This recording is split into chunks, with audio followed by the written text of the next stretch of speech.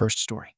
OP ran away from the house after her narcissistic mom used her as a full time living nanny for her baby and abused her constantly. IF 16 graduated high school in June. Yes, I graduated early. My mom is currently eight months pregnant, and she just had my half baby brother Ben in October 2021, so he's almost two. My full blooded brother Sam, M14 was with our dad, who lives eight hours away all summer, and just got back two days ago. My stepfather works, so for most of the day, it is just me, my mom, and Ben. I am with Ben in the morning for two hours. During this time, I feed him breakfast, change his diaper, and play with him. I also make my mom coffee and breakfast. My mom sleeps during this time. She wakes up around 9:30 and eats breakfast. Around 10, I walk my dog. When I got back, I put Ben to sleep. My mom plays on her PC during this time. When Ben wakes up, I make his lunch and she feeds him. Then I have to take him outside to walk him. Then I have to take him to water the plants. I have to fetch whatever my mom needs since she can't go up and down the stairs. On top of all this, I had two online classes I was taking. I also had a sick dog I was taking care of. With Sam gone, most of the housework fell on me. It's a lot to handle. I never complained about any of it. I don't know if it's the pregnancy, but my mom has been extremely mean. It only takes her five minutes after seeing me to start complaining about something I didn't do or did wrong. She constantly calls me lazy and compares me to kids my age who have driver's licenses or jobs. These are things I want, but I literally do not have the time to do them because of all my jobs at home. This summer, I wanted to go see my brother and dad just for a week because I missed them. My mom said no because I had to take care of my dog. Fair, I guess. I used to go downtown to the library, and she said I couldn't go anymore because I didn't do insert chore, or she needed someone to help with Ben, right? I wanted to take myself to the movies. No, I want to go to the fair with my brother Sam. No, yesterday was college orientation. Not only did she text me while I was there complaining about me, not telling her we ran out of dishwasher pods, but when I got home, she ranted at me for 20 minutes about how I always ditch my responsibilities. School starts tomorrow, and I'm so exhausted and sad. I wanted this to be a fun summer. After yelling at me and then telling me to go buy dishwasher pods last night, my mom made me tell her what was making me so upset. I told her I wasn't ready to share it, but she threatened to take away my computer, which I paid for and also needed for college, so I did. I told her I was tired of doing everything for her, that I felt underappreciated, and that she and Ben ruined my summer. She said she was more than capable of taking care of Ben on her own and sent me to bed. It's the next day, and she won't talk to me. She also won't let me help with Ben. I am a little relieved because it's been a long time since I've had time to myself. But I also feel sort of bad. AITA relevant comments. Who is the mom here? My baby brother calls me mom now, so honestly, maybe I am the mother. Can you go live with your dad? I've never lived with him before since she has full custody, but he said I'm always welcome. Living with my dad probably won't be an option because of how far he lives. I've also mentioned it before, and she shot it down immediately. OP is voted NTA. Update. Next day. Hi. So first I want to say thank you so much for all of the attention and support I've gotten. It feels so good to have people say good things about me for once. Basically, I'm a 16 year old high school graduate, and my pregnant mother is putting a lot of household responsibilities, including taking care of my 22 month old brother on me. After reading your comments, I've realized a lot. I always knew my mom was a little verbally abusive, but you guys helped me see how bad it actually is. I am not supposed to have these many responsibilities at my age, and my mom is trying to make me feel otherwise by manipulating me. Her mother is a narcissist worse than my own mom, if you can imagine, and extremely manipulative. Her father has ADD and BPD, so I know for a fact that she has inherited some of this behavior from them. Per your suggestions, I have decided to look into emancipation. In the meantime, I will get my things in order to be able to back myself up. I am looking for a job through my college, and I am going to study to get my permit. If I'm able to get my permit this month, I can have my license by February. I agree that I do need to get out of the house ASAP, but it will most likely be after the new baby is born, unfortunately. I am also deciding where I should live. I'm leaning toward my grandfather because he lives on the other side of the country, and he is at least extremely supportive of me and won't expect me to be his slave. A lot of you wanted me to move in with my father, but I'm sorry to say he's not the savior you guys want him to be. He and my mother divorced when I was five, but we've never all been a family. I would see him maybe a few times a month, and now we speak once a month, if that. He is by no means my dad, Just a friend I check in with monthly who happened to get my mom pregnant. Here's what's happened since I posted. My mom kicked me out of my bathroom and is now making me share it with my brother because, apparently, I am not able to keep it clean. Mind you, everyone uses this bathroom, and she constantly tells me that it's not just my bathroom, but of course I am the only one responsible for cleaning it. She has found a way to control my devices through some app that uses Wi Fi to do so. I've gotten three 15 minute rants about how irresponsible I am. I will no longer fight her and just stick to my plan of getting out ASAP. I have switched all my college classes to online as well, so I can get up and leave when the time comes. I am done. Thank you guys so much for the support. Hopefully, when you hear from me again, I'll be out of this house. I want to be a lawyer. I know I can do it. Who knew I could get so much support from Reddit? Update. One week from the last post. So, I have some good news, I guess. I am free to go. My mom got pissed at me today because I was taking care of my dog and my baby brother at the same time, and I forgot to fully clean up after my dog. I've been really stressed lately, and I guess it just slipped my mind to go back to clean up because I was with my baby brother. And then I took him to his bed to sleep, and I went to my computer to start schoolwork. Anyway, I was unloading the dishwasher about an hour later, and she saw that my dog's toys were where I left them and got really mad at me. So I cleaned up and found her in my room. She then complained about how there was a cup in my room. Nothing but water is allowed in bedrooms. I had water in the cup, and also that my baby brother's food pouch was under my bed. I didn't know his pouch was there, but he often goes into my room while I'm not in there, so that must be why it was in there. She kicks me out of my room and tells me that I can only keep what can fit in my luggage, and everything else of mine she will give away. So now that I don't have a room, I sleep in the living room on an air mattress. I tried to call my grandmother to ask if I could stay with her for a while, but she didn't answer. About 10 minutes later, she asked me what was wrong with me, and I let it all out. Not like last time, though. I told her that she was specifically the reason for all of my stress, and that she made me feel bad about myself. She actually apologized, gave me a hug, and said it was because she's pregnant. She asked why I called my grandmother, they're not on good terms right now, and I told her that I wanted to move out and take my dog with me, of course. She was fine with it. Like, a little too fine. She didn't even ask why I wanted to go. She didn't even say she needed to talk it over with my stepfather. She just said I could go. I'm very happy, but a little conflicted. I know I need to go, but I keep thinking about my brothers. How much she'll struggle with two babies by herself. She actually seemed like she felt bad when I told her how the way she was acting made me feel. I will go. I know it's the right choice, regardless of my doubts. I'm going to my grandmother's now because she lives in the same city as my dad eight hours away, a big city, and it's easier. Meanwhile, I'll get a job and talk to my grandfather about moving in with him. I think he will be open to it. He always wants me to visit, and he's extremely supportive. I know it's not the biggest update, but I feel like getting her permission to go was the part I was most afraid of and I have it, so I wanted to share. Update. I'm leaving. Hi. I just got into a huge fight with my parents, but I'm leaving in two days. I'm so excited. I'm crying right now, sort of tears of joy and sadness, but I'm so happy. I have all my documents, and I'm packing up my room right now.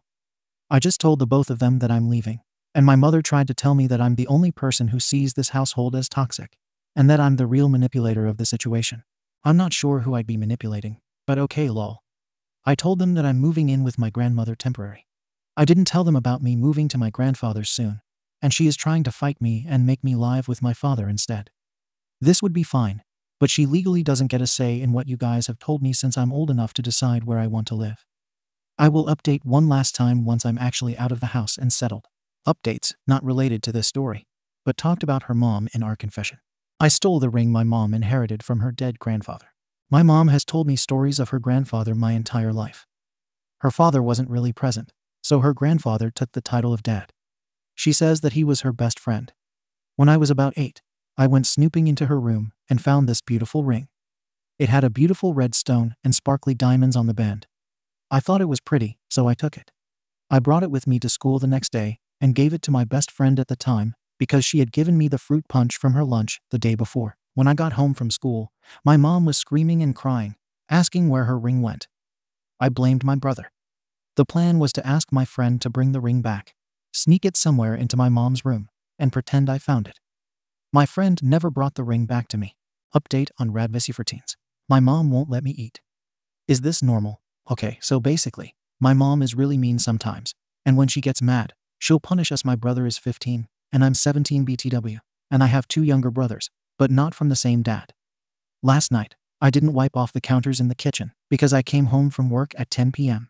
and still had homework. I'm in college. Now she's not letting me eat for five days.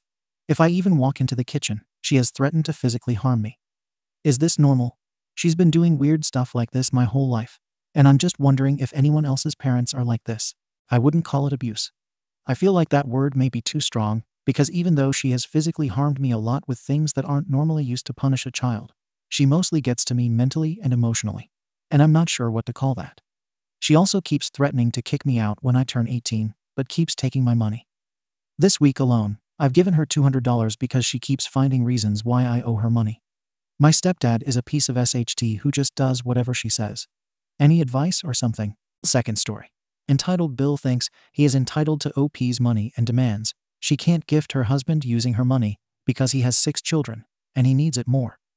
He then went on to insult OP's husband for making less money, so she cut ties with them. Ignore any grammar or spelling mistakes. I'm using a phone, and autocorrect is exhausting.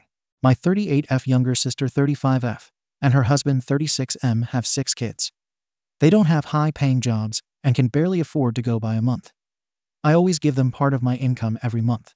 I'm not on good terms with my bill. Sometimes he is rude, and I don't like to be around him. Recently, I got married to my wonderful husband, Danny 36, after four years of dating. He is an amazing guy. We had a beautiful baby boy six months old. Danny didn't receive a good education. He didn't have a degree and couldn't go to high school.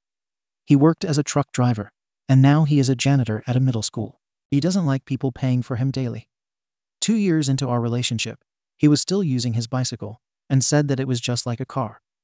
I bought him a car as a wedding gift. He was so happy. His smile and hug brought me unimaginable joy. Recently, Danny wanted to buy a laptop. His birthday was soon, so I decided to buy him that laptop as a gift.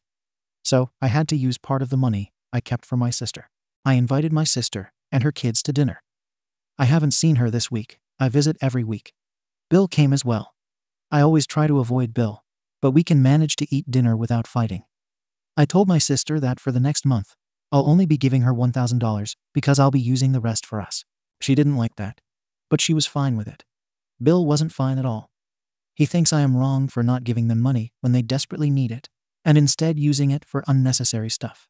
He went as far as giving his opinion and advice, aka insulting my husband, and saying that it's sad that all I can afford is to marry a garbage man who was a truck driver, saying, Imagine the kind of language he'd be using, and other very insulting things.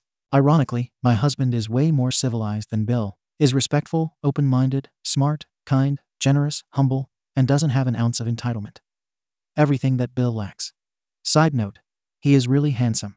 I got mad and made fun of him for being poor, and said that I'd pray for them to survive a month with their half dozen kids without my leftovers. Why I might be the ah. Their kids were around and heard what I said. It might look as if I was bragging or shaming my sister. Finally, Doing the thing that made me mad at Bill for doing.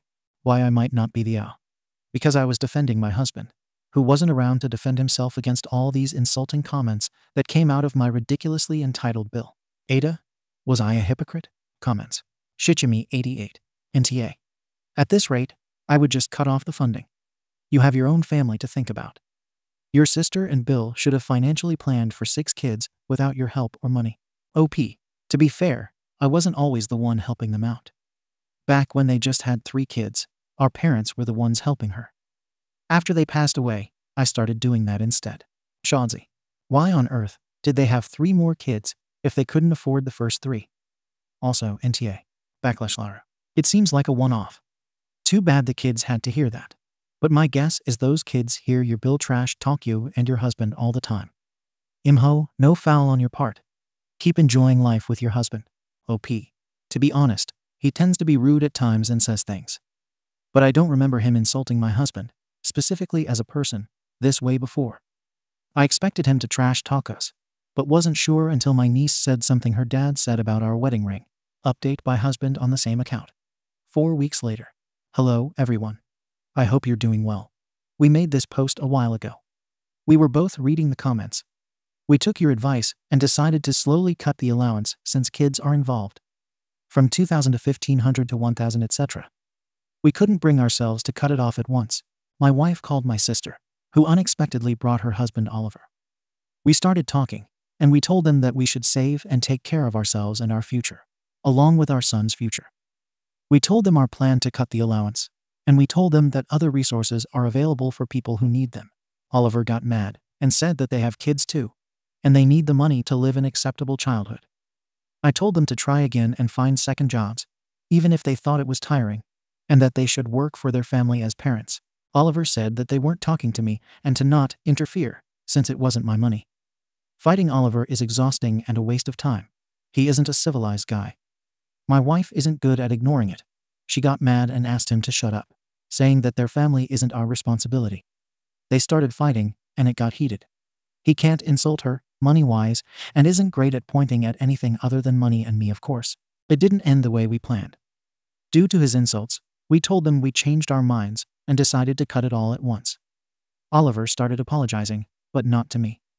My wife pointed that out, and since she isn't the person who could accept that apology, she would ask them to leave. Sil said, We know her husband doesn't mean what he says, and that we are focusing on his words too much, and that if we are okay with their kids having a hard time, then so be it. Before going after her husband, Sil used her last card their parents, which broke her heart. She tried contacting her numerous times, but Sil isn't picking up or responding to the texts. We don't plan on backing up our decision. We have to think about ourselves and our family. Yet, my wife still wants a relationship with her sister. She doesn't want to think that her sister only talks to her because she gives her money. And I truly wish this wasn't the case, and for Sil to contact her again. TLDR. We decided to slowly cut the allowance but after a heated fight, we decided to completely cut it all at once. And we did. As to people's questions 1. My wife doesn't think that her sister was the favorite child, but she was the younger child, so it was a bit different. 2. Sil never mentioned or complained about her husband being abusive towards her or anything. 3. For people who asked if I wanted to complete my education, I was embarrassed at first, but as I matured, I'm fine with myself and my job, and I don't mind being a janitor. I like the kids at school. If I wasn't a janitor, maybe I would have chosen to be a teacher. 4. To address the DMs, first, no, I'm not using my wife for her money. My wife does pay more than I do, but I do contribute as well. For example, while she paid for the wedding, I bought the rings. Crappy rings, but we love them. She pays bills, and I buy groceries. She bought me my car, and I bought her new shoes. And so on. Second, no, I will not save up money and then dump her. What kind of suggestion is that confused face making? Comments. Unsker. You made the right decision.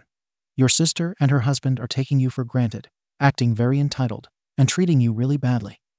I'm sorry, but you're being used, and your wife will soon realize that the relationship with her sister was all about the money. You need the money for your own child and future, OP. The wife will soon realize that the relationship with her sister was all about the money.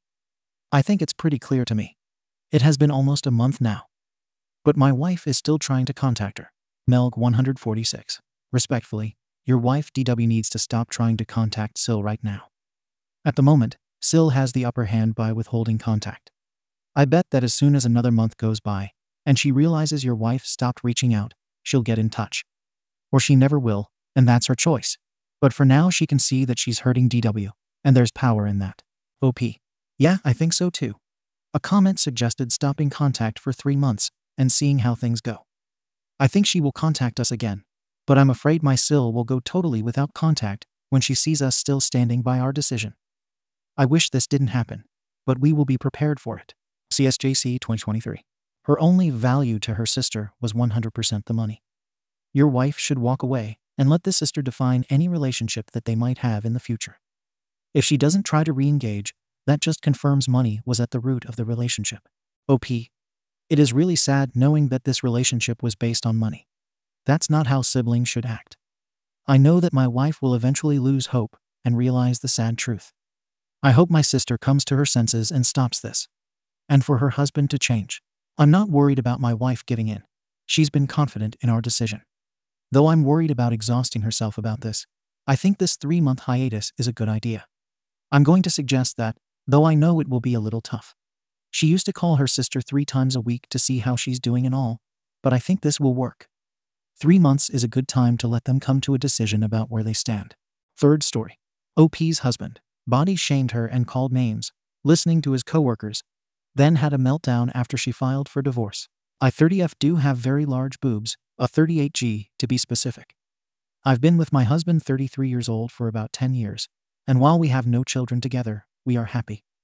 Recently, he's been checking out my body more than before, and I don't mean in a let me take you to bed kind of way. It's more of a what could you be hiding kind of way. Now I am by no means skinny. I am 5'5 and 180 pounds, nowhere near as good as I could be. But I really don't have any motivation, and don't care as long as I don't look like I haven't showered in months and choose to be like that. Now I have a multitude of scars on my body, and my husband noticed. One is under my armpit, which I got from running up the stairs with my friend and scraping it against the corner of the railing in my old house. The second one is not even sure where it came from. It's thin, so I assume it came from my childhood cat, but it goes down my side about 4 inches and on my rib cage. My husband has been getting into more shows about spouses lying to their partners about things, which I do enjoy watching myself. My husband randomly came up to me and started feeling up on my boobs, which isn't out of the ordinary, but still random. I asked him what he was doing, and he said, How could you lie to me like that? I asked about what, and he said my boobs.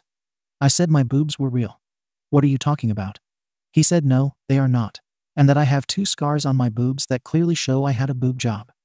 I told him that's not how it works, and usually they cut under the boob for that. He said they cut on the side as well, and I'm sorry for not telling him. I told him I wasn't lying, and that he was being weird. I had an argument with them, and I left with our cats to my friend's house, the exact friend I'd gotten hurt with. I explained what happened to her, and she called my husband and yelled at him. His mother also yelled at him for that, but his dad is on his side. After I agreed to come back home, he said he'd forgive me if I just admitted that they were fake. I told him that they weren't, and that you'd seen me when I was skinny, and could tell it was because of my weight gain. He brought up the time I had to go to my home state and stay for six months, because of my grandmother, who sadly passed away. My family does eat a lot of fattening foods, and when I left for home, I was 125. And when I came back, I was almost 150. Those eating habits transferred over to my home life, and I never really got back into my healthy eating style. He continued to pester me about my boobs, and so I told him I wanted a divorce or separation at least. He backpedaled and begged me not to, but I made up my mind. He called me numerous times after I left for a week, crying and begging me to come home. I told him no, and that if he couldn't leave it alone, I wouldn't come back. He started throwing insulting names at me, to which I hung up. Now his friends and his best friend are calling me an arsehole for wanting to divorce over a simple issue. So AITA. AITA has no consensus bot. The OP was NTA. Top comments. Spider 389. He's been with you for 10 years. Why is he now asking if they're fake? Lonely Octopus 24. His dad sided with him. Mother of Christ. The stupid apple doesn't fall far from the stupid tree. Mogdavis. A simple issue. First, he calls you a liar, then doubles down, refuses to listen to your friend, and demands you apologize. This guy isn't worthy of your boobs. NTA. Update. I just want to say thank you for all the support from the messages and the comments. But the number of people asking to see my boobs is pretty concerning, along with the two asking to date me or wanting to take me out. But again, thank you for the offer and for clearing something up. When I posted this ID, I had already been with my friend for three days, so it hasn't been that long, and I decided to go back home to really talk it out since someone said someone may be saying something to him. I talked to him about it, and his answers constantly changed from no one making him think that he had seen something that said they were making implants feel more real, which I've never seen anything saying they were to finally telling me the truth, which was what his co-workers were telling him. I asked him how he could think that, knowing he'd seen my body change, and he said he didn't know. He showed me a picture of us. He showed his co-workers that I was wearing a waist trainer and a bodycon dress. While you could still tell, I had some weight in my stomach, but still a lot in my boobs. I rolled my eyes as I set the picture down and stared at him. He eventually told me that his coworkers were telling him so much that they were fake, and when he mentioned my scars, it just caused him to believe it more. I said, So you believe your coworkers who you've known for six months, and know how they act around women over your wife of 10 years? He eventually broke down crying, which was pretty uncomfortable, but then said he'd do anything to make me forgive him. I asked him why he would still think that about me even after feeling them, and he said because he didn't want to admit he was wrong and have me hang it over his head. I will admit I have done that a few times, like when he bleached his whole load by mistake, because there were two white shirts in the load, and he thought adding bleach would be fine. And another time he was messing with the cats after they'd healed from being neutered and were spraying everywhere not a fun six months and got sprayed in the face. I told him that I wanted him to find a new job and do couples therapy, like some of you had suggested. He agreed immediately and began drafting his two week notice. We both make enough and have enough saved to go without jobs for at least a month and a half since we have separate finances and a joint account for bills. We both make over $100,000 a year, with me working in human resources and my husband working in medicine. So, when my husband had an office party for one of the boss's birthdays, I wanted to talk to the coworkers who told him what they thought. When I saw them, I was personally not that shocked. They were decently in shape men, but still not as good as they could have been with beautiful wives who'd clearly had work done nothing crazy, just filler and Botox. While my husband was giving his notice to his boss, not the one whose birthday it was, I went to talk to them and their wives. Their wives were shocked at what their husbands had said about me and began to quietly chew into them about that, since I assume they were the reason the wives got some work done. I could be wrong though, but still. My husband and I enjoyed the rest of the party and went home. The next day, my husband was pestering me to go into work. I am able to work from home or in the building. So I agreed after some questioning and went in. When I came home, he was nowhere to be found, but the entire apartment was deep cleaned like I had been wanting to do. Lunch was made, and all the cat amenities like litter boxes, food and water bowls, and a cat stand had been deeply cleaned as well. After about 20 minutes of me looking around, my husband came back home. He was a little upset that he had come home earlier than he wanted since the carpet wasn't completely dry. He'd cleaned it with our rug cleaner, like I wanted. He had made my favorite food that my grandma had made since, after the funeral, I'd inherited her cookbook and some money.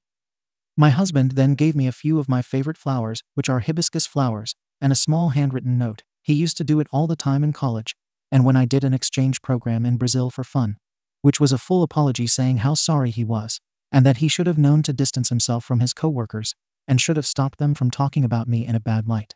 I smiled, thanked him for the flowers, and continued eating. After I finished, he cleaned the kitchen for me, took me upstairs, ran a bath for me, picked out some comfy clothes for me, and gave me a full body massage without ending in SX. Later, after he took me out to dinner and paid for it all he always does. But it's still good to mention, when we'd gotten home, we did end up having SX, but it was better than usual. All focus was on me instead of the both of us. I didn't have to give heads. And after I was completely satisfied, the act was over even if he didn't finish.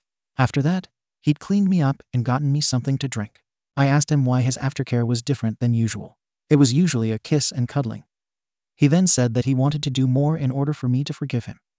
He then gave me an even longer apology, saying that even after all of this, I don't have to forgive him. And he knows he was being stupid for not admitting he was wrong and not backing down.